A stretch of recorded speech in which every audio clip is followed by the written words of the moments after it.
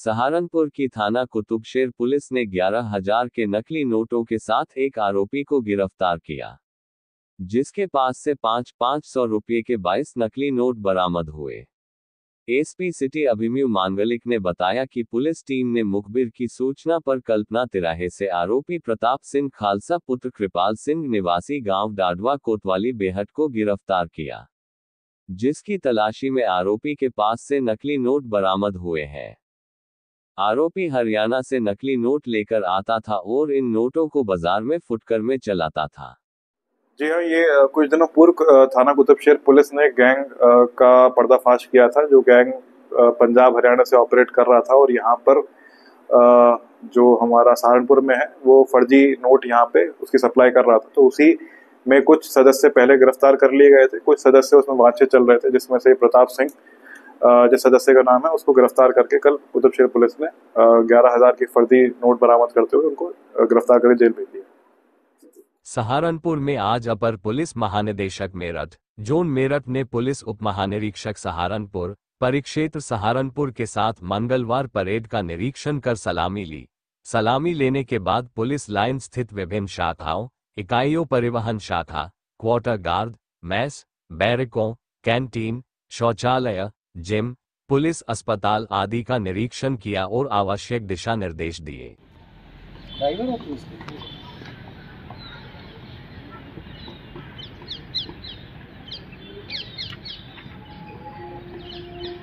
कौन आप ही लोग कौन गया था इसमें? इवेंट पे कौन गया था बताओ। बारह पीस।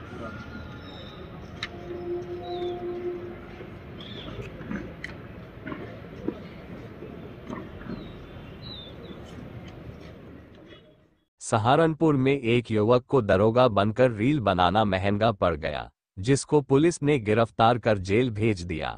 मोहल्ला डोली खाल निवासी मोहम्मद शादाब उर्फ़ अमन पुत्र शौकत अली थाना मंडी क्षेत्र में दरोगा की वर्दी पहनकर रील बना रहा था, जिस पर पुलिस ने मुखबिर की सूचना पर युवक को मंडी समिति रोड से गिरफ़्तार कर लिया, जिसके पास से पुलिस ने एक पुलिस वर्दी पुलिस वर्दी मोनोग्राम व शोल्डर बैच स्टार व पी कैप का ताज बरामद किया है। जी, परसों शाम को ये मंडी समिति रोड पर चौकी प्रभारी मंडी समिति ने सूचना दी कि वहाँ पर एक उत्तर प्रदेश सुरक्षा की एक यूनिफॉर्म पहनकर एक आदमी वहाँ पे रील बना रहा है और कुछ ठेले वालों के साथ कुछ उनका सामान ले रहा है। तो ये पूरा प्रकरण जैसे संज्ञान में आया। आदेश दिए गए कि जो भी ये कृत्य कर रहा है उस पर कानूनी कार्रवाई की जाए जिसके फलस्वरूप इसमें मुकदमा पंजीकृत कराया गया और जो ये रील बनाने का कार्य कर रहे थे यूपी पुलिस की वर्दी पहनकर उनको जेल भेजा गया तो क्या रील का शौक महँगा पड़ा? आप कह सकते हैं कि जिस तरह से वो यूपी पुलिस की वर्दी पहनी हुई थी उन्होंने और गलत उसकी छवि हमारी धूमिल की जा रही थी उसी फलस्वरूप हमने पूरा इसमें कानूनी प्रक्रिया तो अपनाई उनके पास वर्दी बैच का क्या बरामद? जो उनके पास बेल्ट बेल्ट यूपी पुलिस की थी और उनके पास जो साइड में बैच लगा हुआ था, वो उत्तर प्रदेश सुरक्षा का था और पूरी जो यूनिफॉर्म थी वो एज इट इज़ जैसे यूपी पुलिस की यूनिफॉर्म होती है, वैसे ही सहारनपुर में छठ महापर्व को लेकर पूर्वांचल वासियों में काफ़ी उत्साह नज़र आ रहा है। मानकमऊ और पावदोई नदी पर साफ़ सफ़ाई कार्य जोरों पर है। नगर निगम की ओर से सभी तैयारियाँ पूरी की जा रही है। आज से नहाए खाए के साथ छठ महापर्व शुरू हो गया है। चार दिन चलने वाली इस महापर्व को पूर्वांचल के लोगों के घरों में तैयारियाँ शुरू हो गई है। छह नवंबर को खरना होगा, जिसमें महिलाएँ 36 घंटे का निर्जला व्रत रखेंगे। एसपी सिटी अभिमन्यु मांगलिक ने बताया कि छठ महापर्व को लेकर सीसीटीवी कैमरों से संदिग्ध लोगों पर निगरानी रखी जाएगी।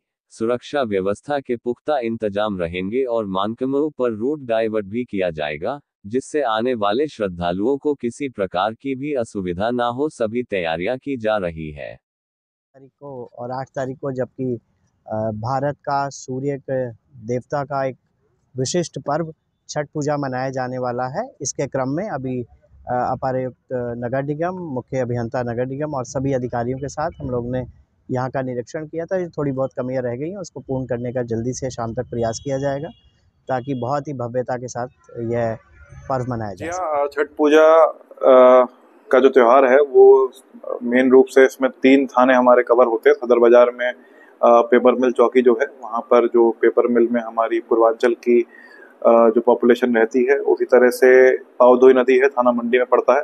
और सबसे बड़ा जो वेन्यू है वो मानक मऊ में जो बड़ी नहर है उसके घाट जो है वहाँ पर ये छठ पूजा बनाया जाता है।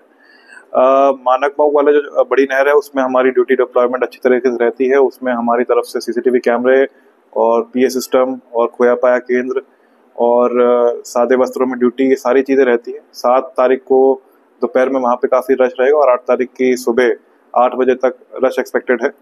तो उसी को मद्देनजर रखते हुए हमने ड्यूटी डिप्लॉयमेंट कर दिया है। अ, मेरे द्वारा भी और नगर निगम और प्रशासन द्वारा भी वहाँ पर नियमित रूप से एक बार जाकर मौका मुआयना कराया जाएगा जो भी व्यवस्था अभी तक हो गई है और कुछ कमी पेशी होगी तो वो पूरी कराई जाएगी। और जैसे हमने पिछले त्योहार हो जी हाँ। डाइवर्जन भी रहेगा। डाइवर्जन बड़ी नहर में रहेगा। बड़ी नहर से पहले ही कुमारहेड़ा की तरफ़ से ट्रैफ़िक वहाँ पर डाइवर्ट कर दिया जाएगा जिससे बड़े वाहन वहाँ से क्रॉस ना हो। और जैसे हमने दिवाली का त्यौहार पूरा सकुशल निकाला वैसे ही हम मानते हैं कि छठ पूजा का भी उतना अच्छे तरह से निकलेगा।